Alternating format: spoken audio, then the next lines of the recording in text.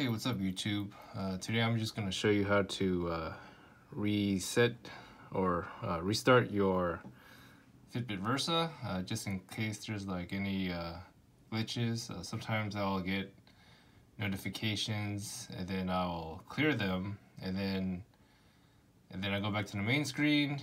I swipe down again and I see that the notification is still there. So anyways, if you want to restart your Fitbit, this is what you got to do uh, you want to press the left button and the lower right button and just hold hold on to it.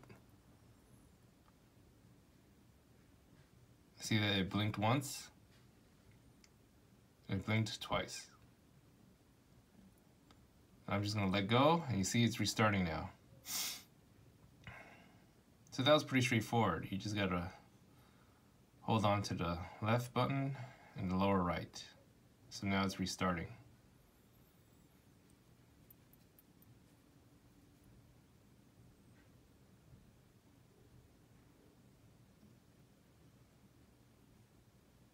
All right, yeah, so it just took a, about, you know, 20 seconds and um, more notifications. And uh, so I hope this helps. Uh, leave any comments below.